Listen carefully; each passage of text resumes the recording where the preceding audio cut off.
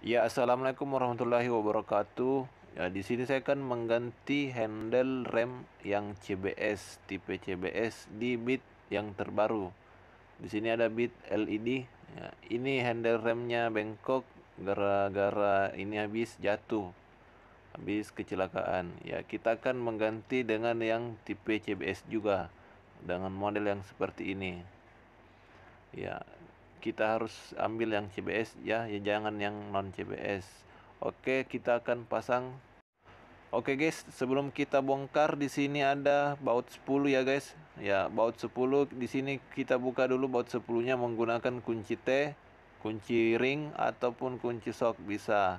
Di sini saya punya kunci T, maka jadi saya pakai kunci T dan di sebelahnya itu handle yang di sebelahnya dia itu dipegang oleh baut 8 ada dua biji. Ya bukan di atasnya di atasnya itu obeng. Kita buka dulu baut yang di bawahnya yang baut 8 kemudian kita baru buka yang di atasnya yang di yang obeng bunga tersebut. Ya oke okay guys kita akan bongkar ya guys